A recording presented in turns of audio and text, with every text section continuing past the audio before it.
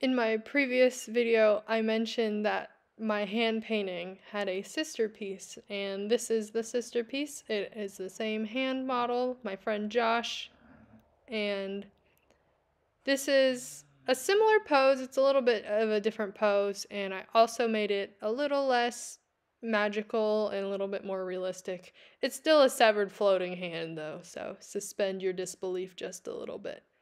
But I really like how this one turned out. I think this one is better than the other one. I mean, it's not as interesting, I suppose, but I think overall, composition wise, this one turned out really well. And I greatly shortened this video because I don't know if the voiceover was helpful, and I feel like I already explained pretty much what I would have explained in this video too. So this voiceover is pretty short and the time lapse is pretty sped up. And I did use the same exact palette, all the colors. I painted this one right after I painted the other hand. I just did not use those warm colors as much. I stuck to the cooler tones and the more neutral tones for this one.